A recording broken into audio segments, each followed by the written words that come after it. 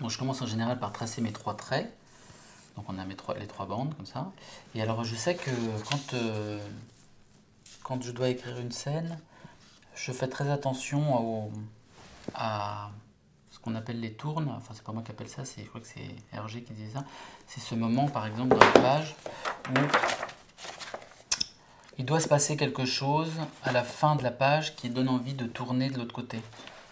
Euh, par exemple, euh, quand on commence, ça c'est la page euh, impair, non, pair, impair.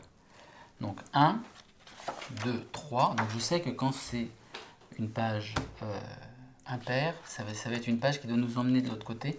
Donc il faut que la dernière image de cette page-là soit suffisamment forte pour nous dire ah qu'est-ce qui va se passer de l'autre côté? Par exemple, si on regarde dans l'arabe du futur, dans ma classe, tout le monde faisait le ramadan dans ces trucs-là. Riyad, emmène-le prendre l'air. Oui, maître. Hein? Et bien là, on se dit, ah, mais il va l'emmener prendre l'air. Alors on chante, on tourne. Et si je mettais cette case-là, ici, ce serait moins dans le truc de. Donc, je suis obligé de tenir compte de ça. Donc, en général, j'écris mes pages par deux, par trois. Alors, si je commence comme ça, hop. Ça, bon, tous les auteurs de BD... Euh, Essaye de faire attention à ça. Ça, c'est la première. Ensuite, toc. Voilà les deux autres, comme ça. Et donc, en général, bah là, je sais pas qu'est-ce que je vais raconter? Je suis chez à la donc je vais dessiner une porte, comme ça. Donc, moi, je sais que ça, c'est chez à la. Toc. Hein? Il y a un escalier, toc, toc, toc, comme ça. Et puis ici, pof, euh, si je dessinais... Euh, euh, Pascal Brutal qui arrive chez la réédition, il est comme ça, alors je dessine comme ça, il arrive, il, dit bonjour, toc, là je dessine quelqu'un qui est comme ça, alors j'essaie de faire les expressions en général, parce que c'est vrai que les expressions, c'est un, ça guide aussi le, le dessin, genre là je fais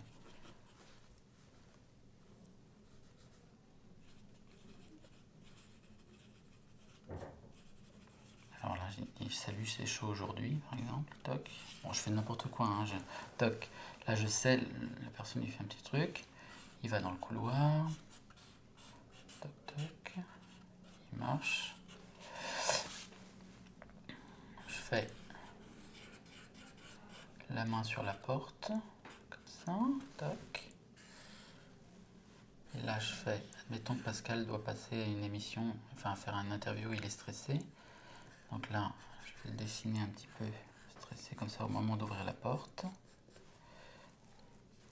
Et là, je me mets à l'intérieur. Pascal entre. Toc.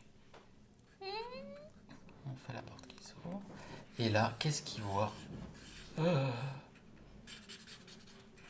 Voilà, par exemple. Et ça, on fait alors c'est un, ça raconte pas grand chose, mais c'est juste un.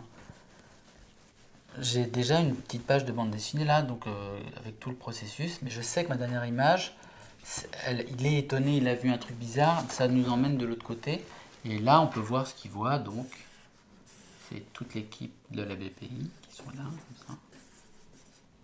Voilà, et ainsi de suite. Voilà. J'écris toutes mes histoires comme ça. Par exemple, quand j'écris un scénario, alors vraiment succinctement. Hein. Je fais des listes comme ça où je me dis par exemple Pascal Vachalari, il fait un malaise. À l'hôpital, il se réveille, on l'a intubé, il est troublé par le médecin qui semble culturiste et qui l'attire. 3. Au même moment, son meilleur ami revient de Franprix avec des nouilles, il ne se doute de rien. Et alors là, je vais me dire, tiens, alors Pascal Vachalari, il fait un malaise, je dirais bien 3 pages pour avoir une tourne. Alors je mets 3. Ensuite, à l'hôpital, il se réveille, on l'a intubé, il est trouvé par le médecin qui semble culturiste, donc ça fait 1, 2, 3. Je vais faire un 2. Donc je me dis plutôt deux pages pour avoir une tourne. Et là, je dis au même moment, son ami sort 1. Comme ça, ça va me permettre d'organiser mon, mon récit euh, par rapport au nombre de pages et par rapport aux tournes.